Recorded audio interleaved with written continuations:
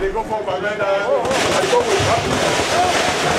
No, no, no. No, no, no. No, no. Panic, panic. Nous, chef, yeah. Nous, chef. Nous, on a chef.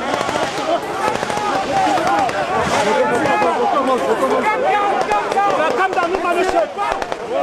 Calm down, please. No, no, get nothing.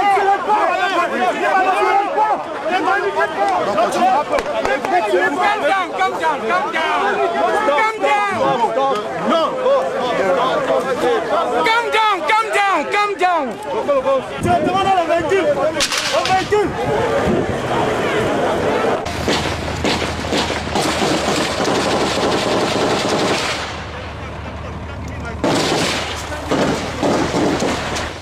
The atmosphere is very tense here in Matazem, Santa Subdivision, Mezam Division of the Northwest region, and also the neighboring Babadjou in the West region. There is shooting that is going on. Non-state armed groups fighters have launched an attack shortly after the arrival of Prime Minister Chief Dr. Joseph Dion Ngute and the security and defense forces are trying to push them back.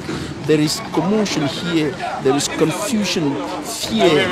People are running for their lives and uh, the people who were here, inhabitants of Santa Subdivision and neighboring Babadjou, the authorities who were here, the governor of the West region and his entourage, and also the governor of the Northwest region and all the people who came with him, the administrative and security officials, uh, have left the area because of uh, the shooting, because of the tension. I and my colleague, we are trapped here behind this truck amidst the shooting coming from the separatists and the soldiers of the Cameroonian armed forces who are fighting to push them back.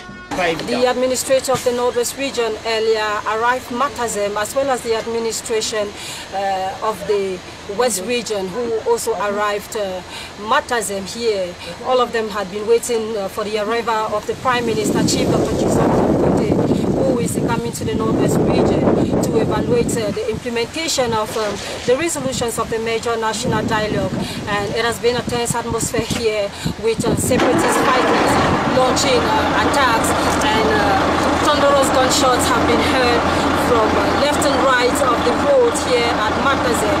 This has uh, pushed the administrative authorities who many have already retreated. It is now a clear atmosphere and security forces and now intervening to ensure that the